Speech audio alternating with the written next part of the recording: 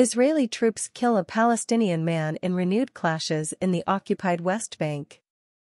Jerusalem, AP, Israeli forces killed a Palestinian man in fighting in the occupied West Bank, Palestinian officials said as the death toll from clashes earlier in the city of Jenin rose to six. The fatalities were the latest in a surge of violence that has racked the region.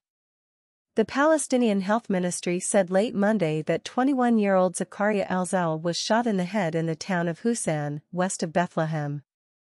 The official Palestinian news agency Wafa reported that he was killed during clashes with the military.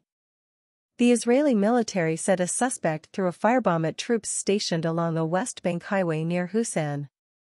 The troops responded with live fire and confirmed a hit, the army said. Israel and the Palestinians have been gripped by months of violence, focused mainly in the West Bank, where at least 126 Palestinians have been killed this year.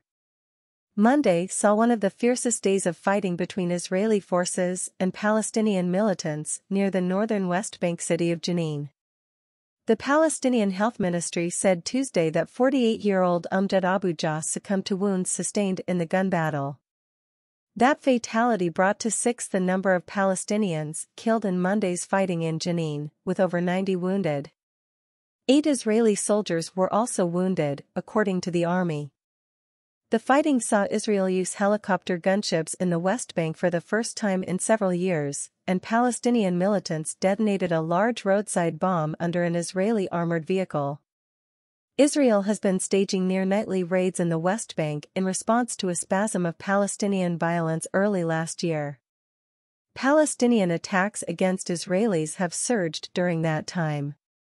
Israel says most of the Palestinian dead were militants, but stone-throwing youths protesting the incursions and others not involved in confrontations have also been killed. Palestinian attacks against Israelis have killed at least 20 people this year. Israel captured the West Bank, along with East Jerusalem and the Gaza Strip, in the 1967 Mideast. The Palestinians seek those territories for a future independent state.